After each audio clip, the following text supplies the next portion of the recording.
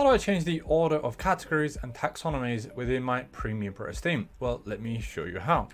In front of me, we have one of the Premium WordPress themes. This is our shop theme, but this video works for all of the Premium WordPress themes. Simply log into the admin area. Okay. On the left hand side, we're not going to click on PremiumPress this time.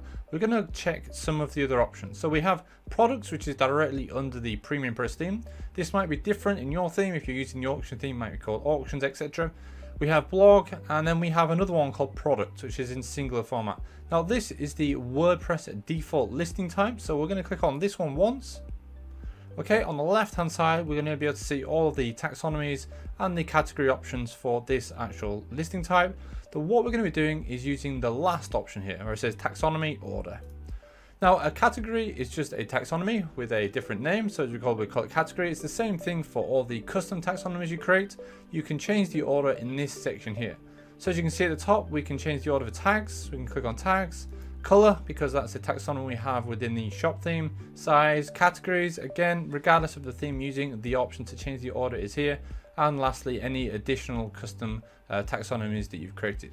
So to change the order, we simply drag and drop. So as you can see, we change this order, we just drag it into the section here or above it here or whatever you like on your website. So let's just check what we've got currently. So let's click on products. Okay, so this is the product manager the PremiumPress theme. I'm going to edit a product. Okay, on the right hand side, you can see this is the current setup for our shop. So we've got the categories here. And as you can see, we have a list. So we've got sports, electronics, digital, furniture, etc. So this is the current order of the categories. And as you can see in the admin area, um, we've got four categories. If I just refresh the page, okay, yep, see we've got sports, electronics, digital, furniture, etc. So this is the current category. If I wanted, say for example, electronics to be at the top, I would drag it to the top, okay, and then I would update the changes. It really is that simple, okay. Let's give it a refresh on the actual product. Okay, if we view category, we can now see electronics is at the top.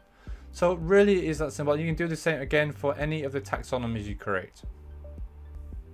So there we go, a very, very quick video tutorial. How do I change the order of my categories and taxonomies? Well, you do it in the admin area.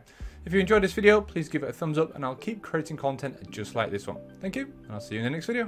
Bye for now.